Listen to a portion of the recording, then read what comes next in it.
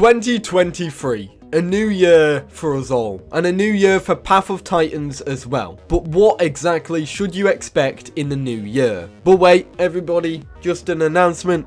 I'm of course wearing that top that you all like to claim is uh, not a top, it's it, it, it, it seems to blend in for you all, and you seem to always think that it's not actually a top. But yes, look, it is a top. It exists. It's real. Okay, now we can get back to this. I'm going over what there is to come in Path of Titans in 2023, as well as some things that I think are coming to the game, and officially known stuff that are coming to the game as well. The developers easily outlined all of this for us all, and I'm going to go into it with a bit more depth. Timestamps for everything are on the screen now, and if you are new, feel free to subscribe. But other than that, let's get into it.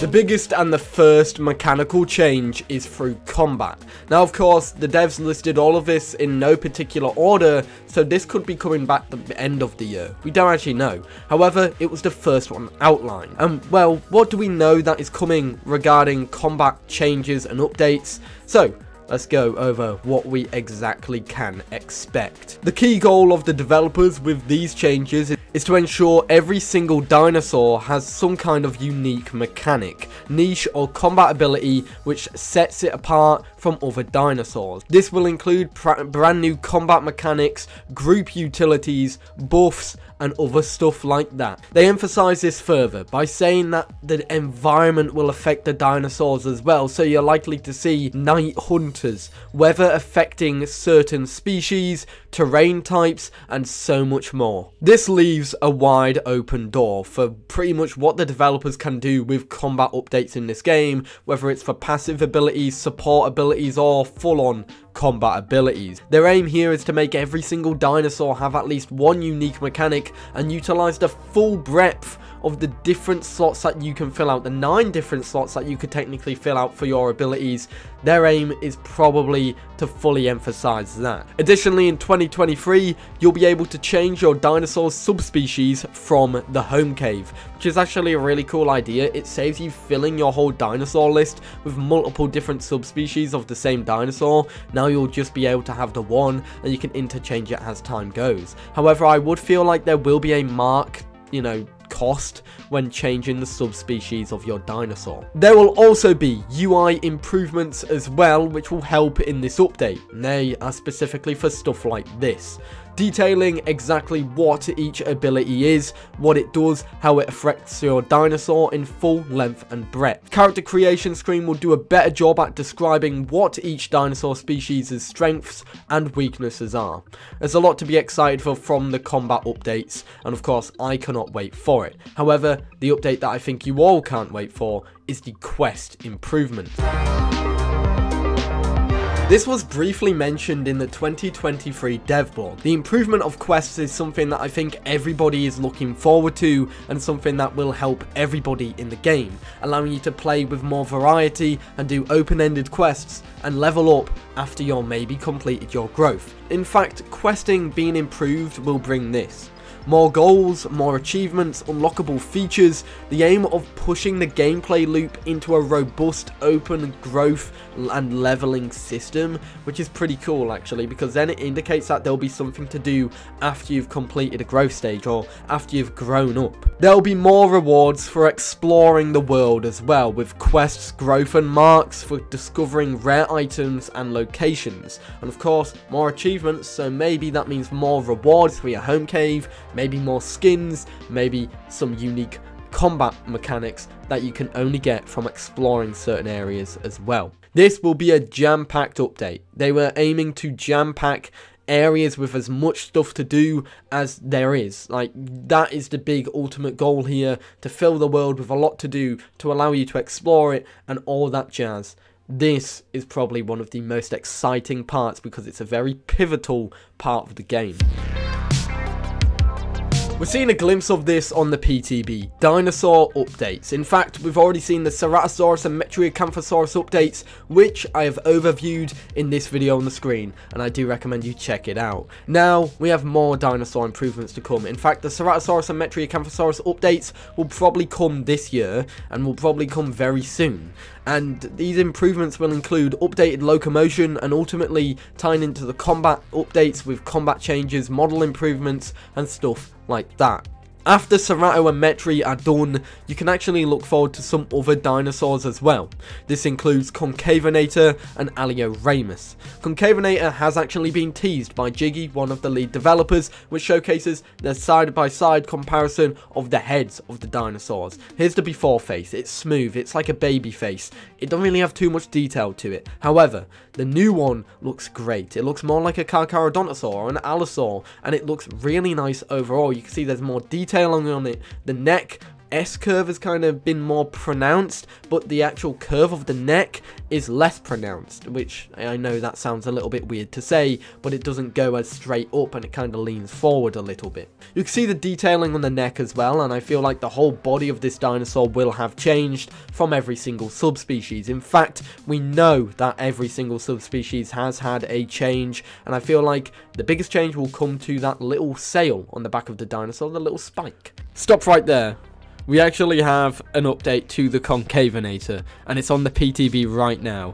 I've made this video, which is on the screen as well, for you to go and check out, which overviews this whole update. But of course, once you've watched that, you can get back to this at 6 minutes and 18 seconds for all you to keep an eye on. But let's get back into what's coming to Path of Titans in 2023. But yeah, let me know your guys' thoughts about this in the comments down below. I'd love to know what you think. I'll review these as soon as they come out. So if you are new and want to be kept in the loop for this stuff, feel free to subscribe because we'll be covering them straight away. Anyways, let's get into the next part and that is game modes and the replay tool. The game modes and the replay tool will be coming in Path of Titans in 2023. We saw a glimpse of game modes last year, so let's talk about them. So, with game modes, we'll get a team deathmatch game mode this year. This game mode will allow for a team-based killing field essentially. You can gain points by killing players on the other team, and the team with the most points at the end of the round wins. To add to this, you'll also be able to do multi-team battles with up to 4 teams by the looks of the teaser image, and so it's pretty cool. Even after this game mode is introduced to the game, modders will then be able to mod in their own game mode, so maybe in the future we'll be able to get our own dinosaur among us. We also will have a replay tool that will be coming to the game as well. This is essentially the tool that the developers use to film their trailers and stuff like that when they use in-game footage. And they said that in the dev blog. This tool allows you to record videos in game, then go back and watch them. It looks like by the teasers that was shown, you might be able to flick between different characters or even go into free cam, which is going to be pretty cool. I like the idea of that. It'll be awesome that you're going to be able to create your own videos with the tools that the developers will use themselves. I'm excited for this one because I feel like a lot of you guys in the community are waiting to express your masterpieces that you are waiting to make. I can't wait to see the first wildlife documentaries for Path of Titans made by you guys. Anyways, let's get into some things that I think will be coming to the game in 2023 as well. There'll be new dinosaurs in 2023, no doubt. I mean, they didn't mention it in the dev blog, However, why would they mention what dinosaurs are coming to the game? Last year, we saw 5 dinosaurs get released, and 2 more creatures getting released, a flyer and an aquatic. I feel like we're going to see 7 or more this year as well. However, I do feel like the combat and quest updates might take the centre ground, but I know the developers like to release creatures alongside big updates. Firstly, we actually have the last 3 dinosaurs to release, not excluding the mystery dinosaur, however, we know that Miragaia, Kilobator and Microraptor will be coming to the game. I think they'll be coming this year, and I also think to fill in that void of the fourth dinosaur for a dinosaur pack, the mystery dinosaur will be included in that pack as well, so I think that will be coming this year as well. However, those won't be coming first. We actually know or have a good guess of what is coming first, and that is these. Eurhinosaurus will be the next aquatic creature to come to the game, and we already know about that. Additionally, Hatzegopteryx will be the next flying creature to come to the game, as we also already know about that, because they're in the same pack as Kiwekkia and Thalassodromeus, but I do think there'll be more.